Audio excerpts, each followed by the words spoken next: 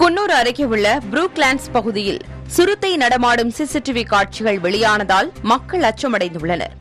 நீலகிரி மாவட்டம் குன்னூர் அருகே உள்ள புரூக்லாண்ட்ஸ் பகுதியை சுற்றிலும் அட்டடி ஆழ்வார்பேட்டை உள்ளிட்ட பகுதிகளில் ஆயிரத்திற்கும் மேற்பட்ட குடியிருப்புகள் உள்ளன. இப்பகுதியில் அண்மை காலமாக கரடி காட்டுரிமை சிறுத்தை உள்ளிட்ட வன விலங்குகள் நடமாட்டம் அதிகரித்து காணப்படுகின்றன. இந்நிலையில் இரவு நேரத்தில் இப்பகுதியில் உலா வந்த சிறுத்தையின் காட்சிகள் இங்கு உள்ள ஒரு குடியிருப்பின் சிசிடிவி கேமராவில் பதிவாகியுள்ளன. இதனால் இரவு நேரங்களில் வீடுகளை விட்டு வெளியே வர முடியாத நிலை உள்ளதால் கூண்டு வைத்து சிறுத்தையை விரைவில் பிடிக்க இப்பகுதி மக்கள் கோரிக்கை விடுத்துள்ளனர்.